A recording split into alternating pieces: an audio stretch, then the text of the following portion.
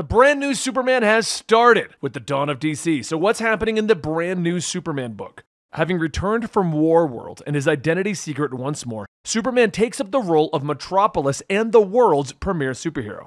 As everyone settles into their roles, Superman must deal with the likes of Livewire, while Lex gives him tips from behind bars. But it becomes harder for Superman to ignore him when the LexCorp building is transformed into the Supercorp building.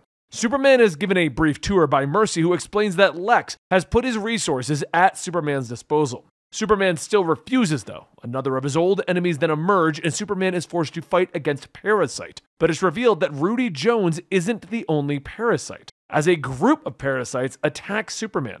Lex reveals that Superman isn't facing his old enemies, he's facing Lex Luthor's old enemies.